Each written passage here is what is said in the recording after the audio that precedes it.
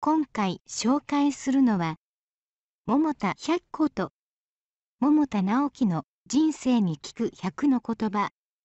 という本です。今までの桃田作品14うち2作は短編から著者が選び取って抜き出した登場人物それぞれの会話やモノローグが集められている。右ページにその言葉があり左ページにはそのシーンについて著者自らの解説があるので桃田さんの読者なら楽しめると思う。読者といっても私は著者の全作品を読破してはいないのだが私が読んだ新作「原難」の中で自分が印象的だった部分人はどう生きたかが全てであるがこちらに取り上げられていたため思わず我が意を得たり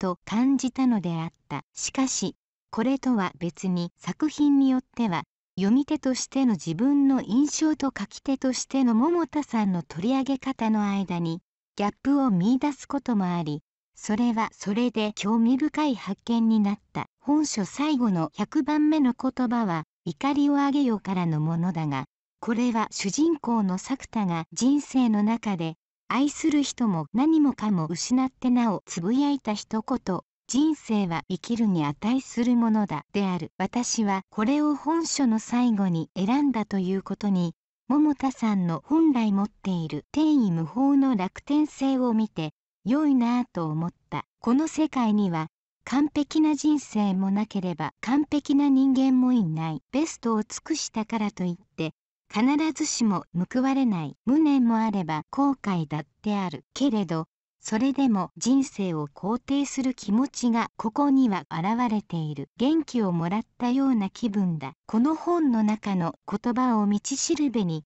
今まで手に取っていなかった作品もそのうち読んでみようかと考えている。以上。興味のある方は実際の商品を Amazon などでご確認ください。今回は最後までお付き合いありがとうございました。よかったらチャンネル登録をお願いいたします。